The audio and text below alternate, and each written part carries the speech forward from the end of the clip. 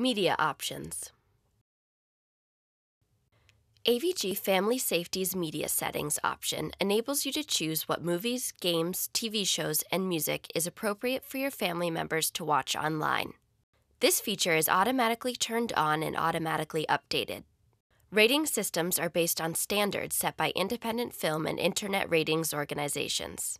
This is automatically set based on your child's age group template. To adjust settings, choose the profile you want to manage. Click on Parental Controls. Click on Media. Choose the ratings you wish to allow or not allow.